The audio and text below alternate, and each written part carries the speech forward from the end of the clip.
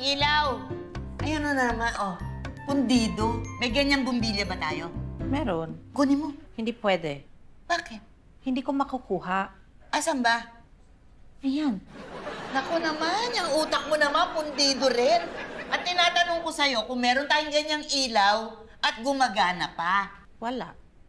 O di ganun, wala. O pumunta ka kla Elsa, sabi mo peram ng ilaw.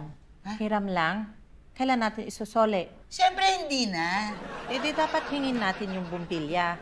Hiram, hingi, pareho lang yon. Alam na ni Elsa yon. O, ha?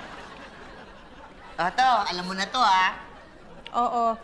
Manghihiram ako ng ulam kala Elsa. Bakit ka manghihiram? Hiram, hingi, pareho lang yun. Alam na ni Elsa yon. Si Robert, umalis po sila ni tatay eh. Bakit po? ay, magpapatulong sana kami na magkabit ng bumbilya. Ah, text nyo na lang po siya. Ah, sige. Ah, meron ba kayong extra bumbilya? Pairam na nga ng isa. Ah, nasa laundry, doon sa may washing machine, yung cabinet, andun nakalagay yung mga bombilya. Huy, tanda ka pa. Ba- bakit? Di ba sinabi ko na sa iyo kung saan nakalagay yung extra bombilya? Pati mo pa kinukuha. Ate baby. Eh, wala ka naman sinabing kunin ko eh. Alam ko talaga nito. Pabigyan mo na. Basta na kayong dalawa. Okay na okay kami, sir. Sakto lang. Mm-mm, wala po kaming problema. Wala kayong problema. Ba't parang di kayo nagtitinginan? Pitso! Bakit? Wala naman ako sinasabi, ah. So, sandali. Relax, relax. Ah, isa-isayin nga natin. Ano ba dahilan? Ba't nagagalit ka na naman dito? Kasi kaninang umaga, sir, nakita niya ang dami kong dala. Tapos, hindi man lang ako sinabayan papuntang opisina. Tatalo ko kina Pitts eh. Hindi naman kita pinapadalaw. Eh, walang almusal sa bahay eh. Kaya pupunta ako kina Pitts dahil maraming hotdog doon. Hotdog, hotdog? Inuuna mo pa yung mga hotdog na yan kaysa sa akin? Ang akin lang naman, sir, sana intindihin niya yung mga kailangan ko. Yung, yung mabigyan niya ako ng oras. Kasi hindi naman malaki yung inihingi ko eh. Yung sana maramdaman ko man lang na meron siyang malasakit sa akin. Paano kita iintindihin? Pag kinakausap ka, hindi ka sumasagot. Lahat kinakaya mo. Lagi akong mali. Mali! Pitts, saan ako lulugar? Ah, alam mo, simple lang naman ang gusto nitong asawa mo.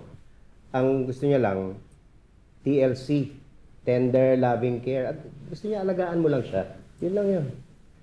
Sige, Pitts, malinaw na sa akin yan. At ito naman, ang gusto niyang mangyari, eh, kung meron kang mga sasabihin sa kanya, eh, linawin mo. Detalye mo para mas maintindihan niya. Kung di niya maintindihan, kung di niya magets, eh, pagpasensyahan mo na lang. Okay po, sir. Naiintindihan ko na po yung, yung sinasabi niya. Di ba? Dapat ganyan pag nag-uusap kayo eh. Dapat ah, relax lang. Dapat hindi mainit yung ulo niyo. Para kakaintindihan kayo. Sorry na, Be.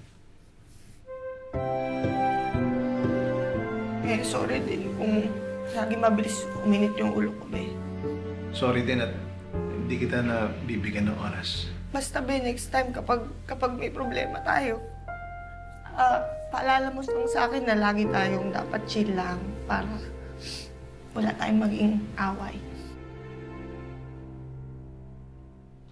Excuse me po, sir. Ah, baka gusto niyo po umorder ng merienda. Ah, mamaya na siguro pag-uusap ako. Hindi na. Pitts, okay na. Okay na. Ah, di ba ah, tapos na tayo sa pag-uusap natin?